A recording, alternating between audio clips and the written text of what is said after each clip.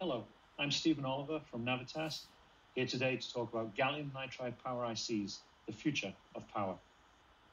As we move away from the old slow silicon chip to new fast gallium nitride, we reap the benefits in high speed, high efficiency performance. And the Navitas GaNFast power ICs are the embodiment of that ultimate performance. Navitas means energy. We have the energy to change, the energy to improve, and also the energy to help sustain our planet. Reliability begins with monolithic integration of GaN FET, GaN drive, control, and protection to ensure reliable high-speed performance.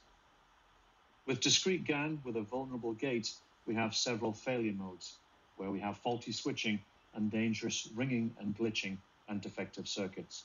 With GaNFast Power ICs, we have high speed, stable, high performance operation. Navitas GaNFast also has a very large voltage margin, rated at 800 volts and with a production test at 900 volts. All of this means proven reliability with over 18 million GaNFast Power ICs shipped and zero failures.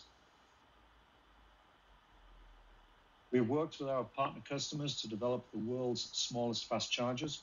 Here is the series from 2018, leading to the Oppo Cookie 50 watt PPS design, the world's thinnest charger with no electrolytic volt cap.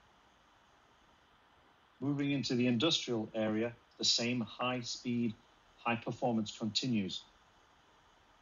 Silicon runs out of steam at a very low power. Gallium nitride power ICs keep going. In 2020, we had two times the power density. This year, in 2021, we are six times more power density, reaching 1000 watts for a 400 volt input DC to DC converter.